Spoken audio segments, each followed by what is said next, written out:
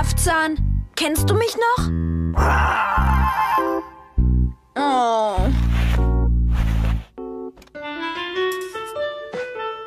Na komm, Raffzahn, geh schon da rein.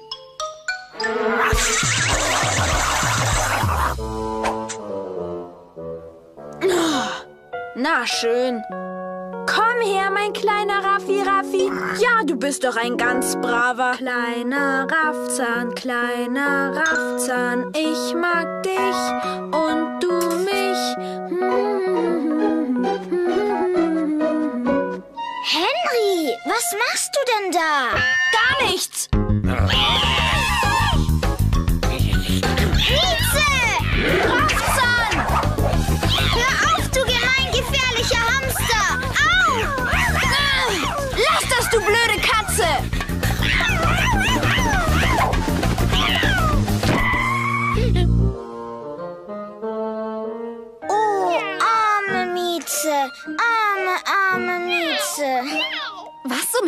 Willen ist hier los?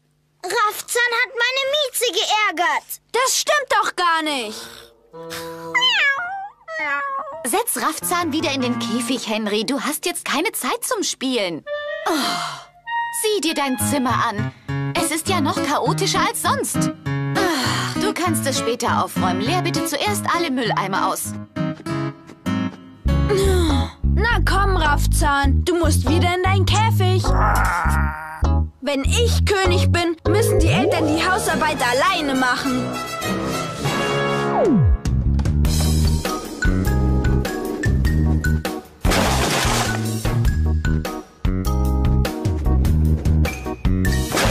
Henry, was machst du denn da? Die Mülleimer ausleeren. Ich glaube nicht, dass Mama das so gemeint hat. Das werde ich ihr sagen. Ist mir doch egal. Mama! Typisch. Mama!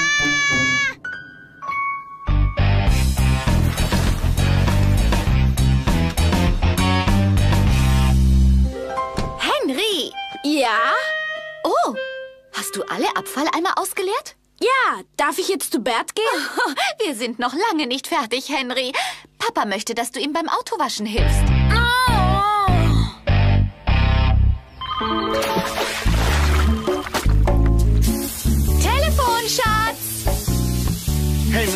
Gleich wieder da und vergiss nicht auch die Scheiben sauber zu machen. Was? Das dauert dann ja noch ewig.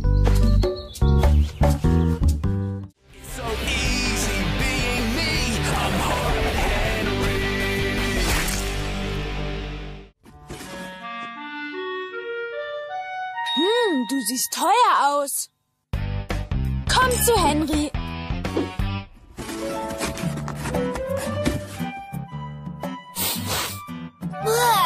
Riecht wie ein Babypo. Uäh, hast du auch was zu essen? Nein. Wie viel hast du denn schon eingenommen? 37 Cent. Gib das her, wenn du es nicht kaufst. Machst du einen Flohmarkt, Henry? Du kriegst aber auch alles mit, Alf. Die Einnahmen sind für einen sehr guten Zweck. Kinder in Not. Henry! Das ist Mamas bestes Parfüm! Ach, sie hat noch so viele Flaschen. Eine vermisst sie schon nicht. Der kostet 10 Euro. Hm, ich geb dir ein. Na gut. Das, das ist aber Papas Schläger. Jetzt hör schon auf zu meckern. Sonst verkaufe ich dich. Orangen! Frische, saftige Orangen! Wer gibt mir fünf Heller für diesen schmächtigen Bauern? Er schrubbt die Böden, mistet den Stall aus und er ist nur Schlamm. Das ist es. Genau. Möchtest du dir etwas verdienen, Peter? Und wie? Ich könnte dich als Diener verkaufen. Ich gebe dir 10 Cent dafür. Ist das alles? Na schön. 10 Cent am Tag. Das macht 20 Cent für ein Wochenende. Hm, in meine Sparpläne würde das schon reinpassen. Also gut, ich mache es. Super. Setz dich auf die Mauer und sieh arbeitswillig aus. Okay. Wer möchte sich einen Diener fürs Wochenende mieten? Er kostet nur 75 Cent am Tag. Oder als Schnäppchen 1,50 Euro für zwei Tage. Was macht er denn so? Alles, was du willst. Er ist ein Diener. Gut, ich nehme ihn. Ist bestimmt cool, jemanden zu haben, der alles macht, was ich will. Wieso bekomme ich nur 20 Cent, wenn der Bert 1,50 Euro bezahlt? Äh, für Unkosten. Und jetzt geh mit deinem neuen Besitzer mit. Ist ja super. Wenn ich Peter ausbezahlt habe, bleiben mir noch 2,67 Euro. Das lässt sich noch ausbauen. Willkommen bei Kaiser Henry, der allergrößten Kaufhauskette der Welt. Nach Hause.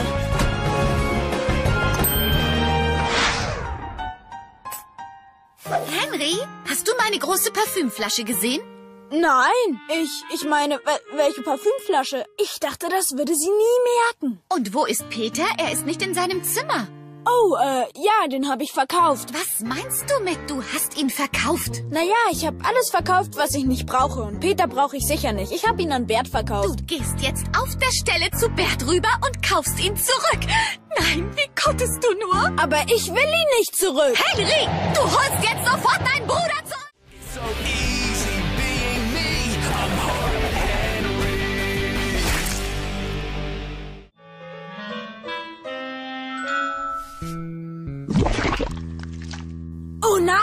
Ich habe ihn gesehen. Den riesengroßen, pechbringenden Pechvogel. Das ist ein Zeichen, dass du verflucht bist. Nein, ich bin überhaupt nicht verflucht. Ah, äh, äh, ich bin verflucht. Nein, ich will aber nicht sterben. Naja, wenn du das goldene Dings da einem anderen gibst, geht der Fluch an den über. Ich schätze, ich könnte dir den Fluch abnehmen. Du würdest dein Leben ja auch für mich riskieren. Henry, du bist der beste Bruder auf der ganzen Welt. Das war ja babyleicht.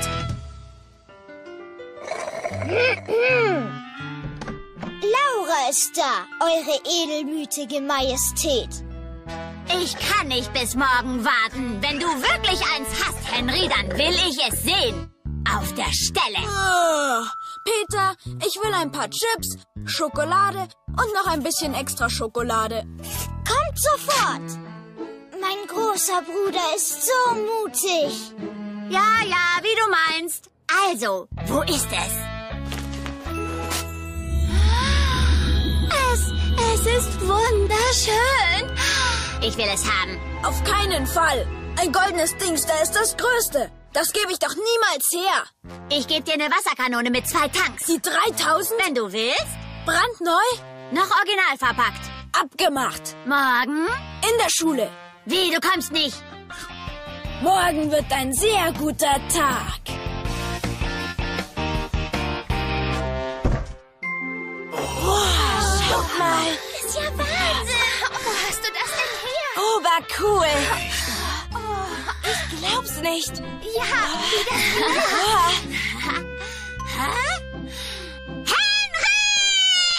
Henry! Du hast mich betrogen! Hast du wirklich geglaubt, ich gebe ein goldenes Dings dafür die Wasserkanone 3000 her? Da musst du schon mehr bieten. Am Montag könnt ihr mir alle ein Tauschangebot machen und dann entscheide ich, ob es gut genug ist.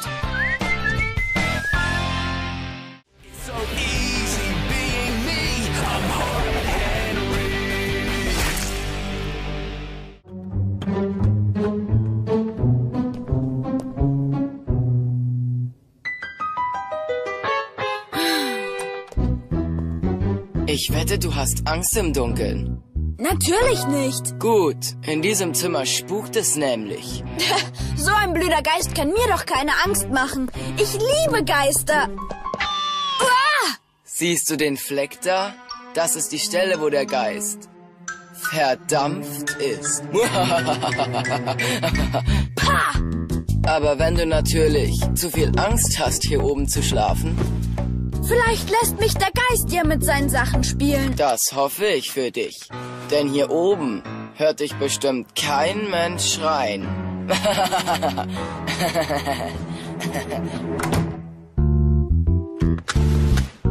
Ich bin Henry. Ich hab keine Angst. Ha!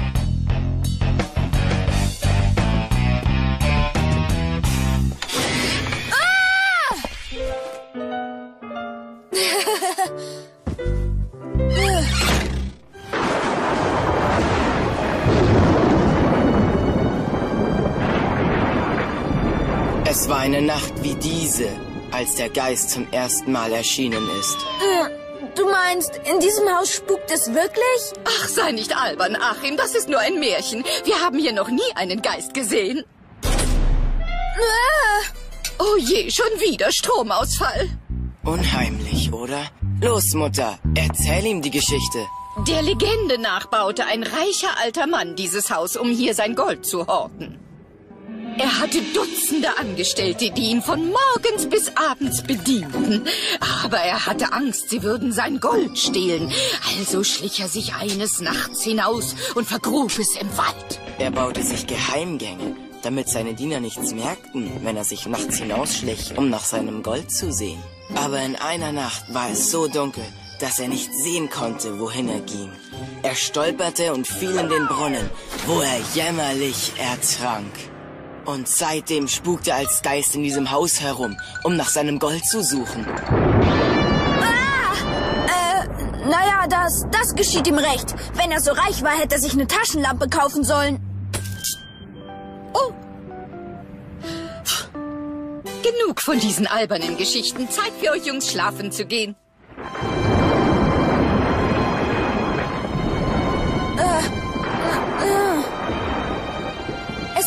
Überhaupt keine Geister. Das weiß doch jedes Kind.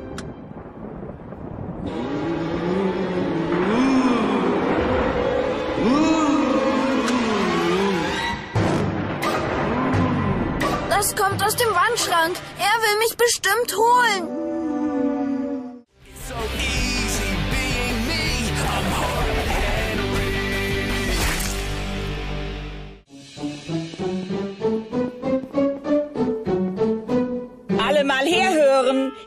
Befinden wir uns in unserer Dauerausstellung und sie führt uns durch die gesamte Geschichte des Ortes, an dem wir leben. Die Pflanzenwelt, die ihr hier seht, überwucherte einmal unseren gesamten... Da hätte ich ja auch in unserem Garten bleiben können. Betrachten wir mal diese Erde. Echter Nährboden von Mutter Natur. Seit der Entstehung der Menschheit ist sie unverändert. Seht sie euch an, fühlt sie, riecht sie. Unsere alte Erde lebt und steckt voller Rätsel unserer Geschichte. Sie lebt! Sie lebt! Sehr witzig, junger Mann. Aber genau das trifft zu. Die Erde lebt und wie sie lebt. Und das ist das Reich der Würmer. Ich will das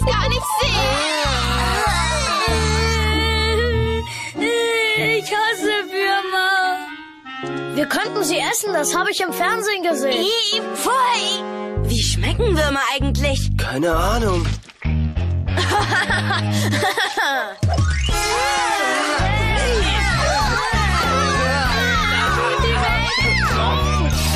Nicht! Passt auf! Tretet ja nicht auf die Würmer!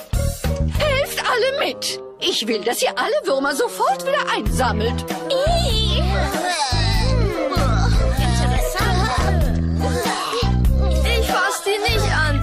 bestimmt Ausschlag. Doch, jetzt stellt euch nicht so an. Das sind doch bloß Würmer.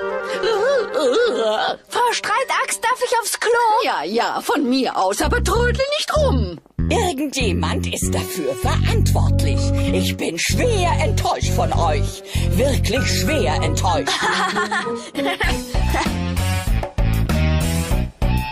Frau Lieblich, diese frühen Siedlungen waren wirklich sehr interessant. Wartet auf mich.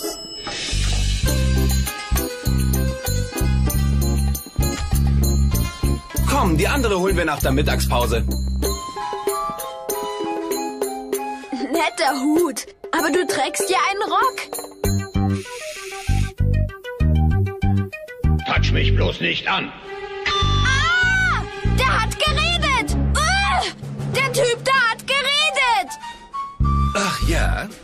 Interessant. Dann geh lieber wieder zu deiner Klasse, Freundchen. Nein, das ist die Klasse von meinem Bruder. Meine Klasse ist da drüben. Kamera und Lautsprecher funktionieren. Kannst wieder abschalten. und gut gemacht, Jörg.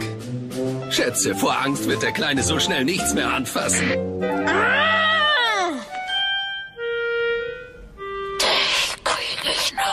Jörg, warst du das?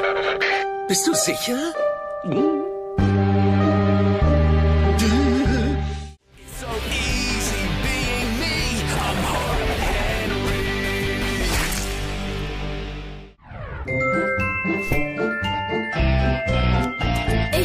wirklich alles versucht. Aber jedes Mal, wenn ich eine super Idee hatte, bekam ich Ärger.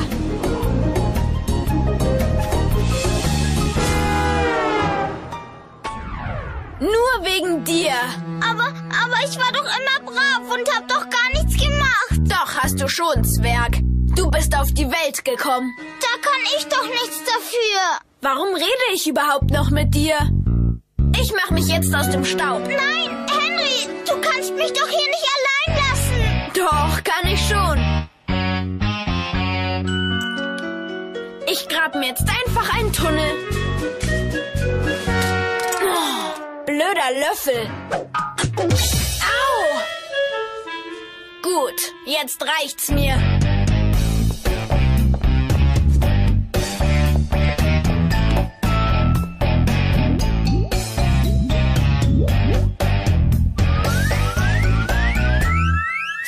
Klappt es bestimmt. Henry, du darfst mich nicht hier lassen. Du bist echt gemein. Nein, bin ich nicht. Ich mag dich nur nicht. Das ist alles. Das stimmt gar nicht. Du hast mich doch mal gerettet. Dich gerettet? Wann? Als ich ganz klein war.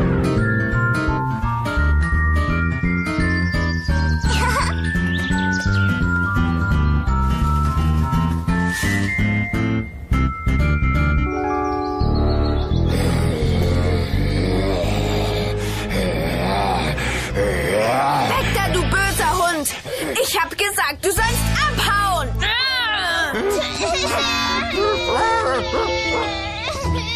Sei nicht so gemein, Henry. Jetzt hast du Peter wieder zum Weinen gebracht. Ich habe dich gewarnt.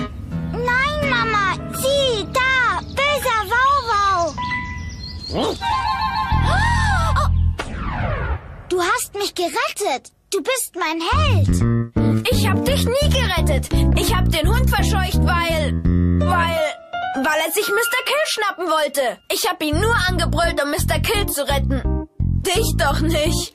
Das stimmt gar nicht. Du, du hast mich gerettet. Äh, äh. Von mir aus hätte der Hund dich ruhig in die Beine und in die Nase beißen können. Es wäre mir sogar egal gewesen, wenn...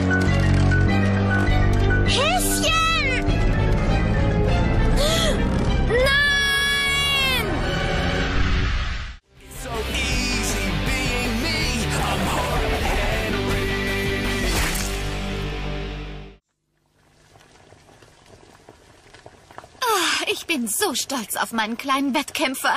Ich bin sicher, du gewinnst wieder den Pokal im Eierlaufen. Oh, der arme Henry. Naja, du wirst es schon überleben. Ich glaube, ich kann heute nicht in die Schule, Mama. Ich habe nämlich ganz schlimmes Bauchweh. Ich glaube, ich muss sogar ins Krankenhaus. Oh je, ich hoffe, sie müssen dich nicht operieren. Operieren? Wir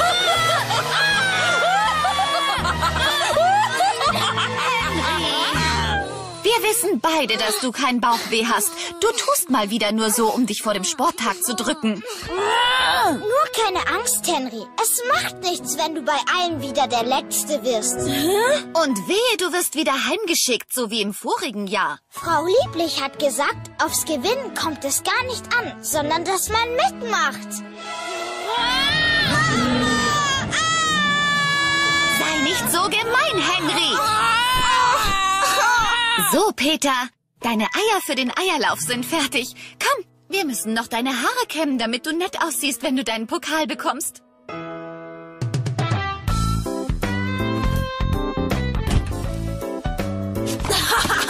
Genial!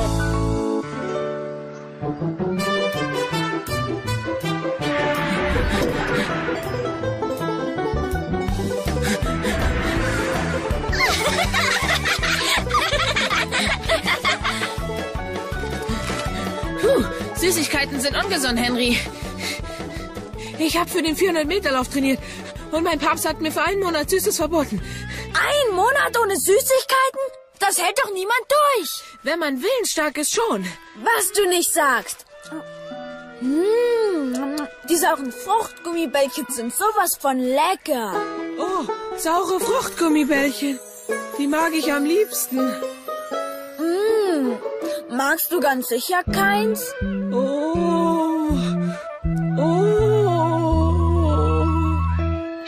Jetzt bitte zum Dreibeinwettlauf auf. Der Dreibeinwettlauf fängt in einer Minute an. Wo ist dein Partner, Henry? Ich, ähm, ähm... Laura, du wirst Henrys Partnerin sein. Was? Beeilt euch, der Wettlauf fängt gleich an.